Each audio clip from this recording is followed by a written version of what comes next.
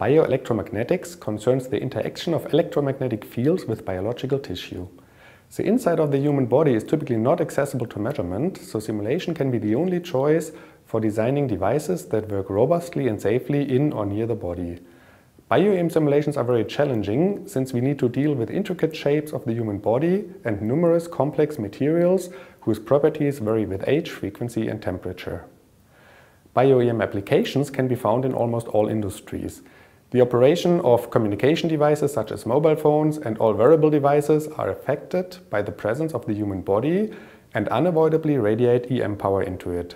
The design of medical equipment like microwave or magnetic resonance imagers, as well as all kinds of body sensors and implants require bio-EM simulation. Finally, persons operating high-power machines like welding guns, sitting in electric vehicles or working near high-power antennas may be exposed to strong EM field levels. A key consideration is that understanding the potential radiation hazard is a legal requirement. Dosimetry values must be verified to certify the mentioned devices.